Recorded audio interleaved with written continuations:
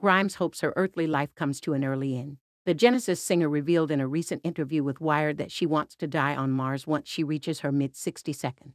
When asked if she has any plans to travel outside Earth, the Canadian musician simply replied, Definitely. I hope to die in space. I would like to go far enough out there to where my body could not handle coming back, she added, so it would be closer to the end of my life. Maybe 65. In fact, she thinks Mars, specifically, would be a great place to finish out her life. As long as there's a megastructure by then, I'd go out there and live as long as I can until I die, the 35 year old said. However, Grimes, who shares one year old daughter Exa Dark Sideræl, who goes by Y, and three year old son X Æ A-12 with Elon Musk, noted that there is one thing that could change her plan. If there's a real responsibility, like if my kids are having grandkids and really need me, I might change my mind, she told the outlet.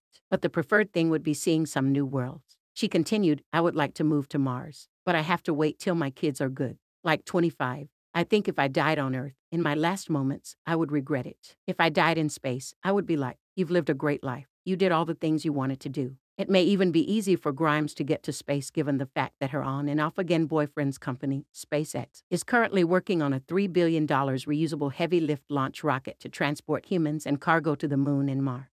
Plus, the singer has already been getting ready for her otherworldly life by going through a full alien transformation. Last year, the mother of two shared that she was undergoing a long, slow effort to have a full alien body that's totally covered in white ink, which is supposed to look like beautiful alien scars. Since starting the process, Grimes has debuted a huge red leg design, a chest tattoo featuring futuristic letters, and a massive back tat of tangled white line.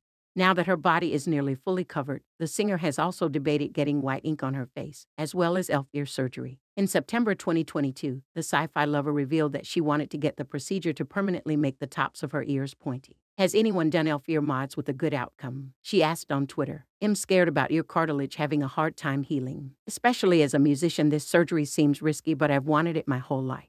While it's unclear if or when Grimes will pull the trigger, it looks like she's got about 30 years left on Earth to make the decision.